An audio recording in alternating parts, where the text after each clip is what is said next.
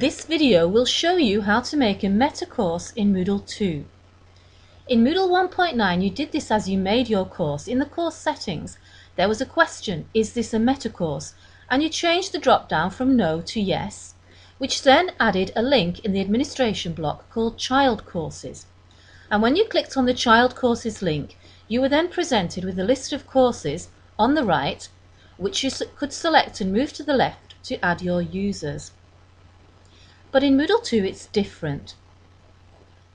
First of all, the site administrator needs to click on Plugins and then Enrolments and then Manage Enroll Plugins and this brings up a screen offering different ways in which users can be enrolled into a course.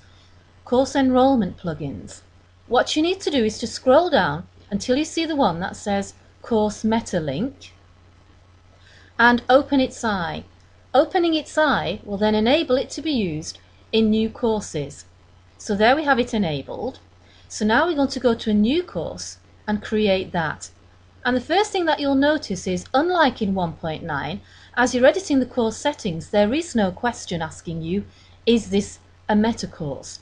Once you've made your course, then when you go into the settings, what you'll see is users, and when you click on users, it will take you to enrollment methods. Clicking on enrollment methods will then bring up the screen of the possible enrollment methods to get users into that particular course. And now that it's been enabled, we can choose Course Metalink. When we click on it, it gives us the option to select a linked course and add that method. And once that's done, you can see that 10 users have come from that course straight into our new course. If we wanted more courses, then we'd just click Add Method again and repeat the process. That's how you do it. But something I've noticed if you're a teacher as opposed to an admin, you don't have the capability to select link courses automatically. So the site admin has to enable or allow the capability to select courses as meta-linked for teachers and then they'll be able to do it. And that's about it really.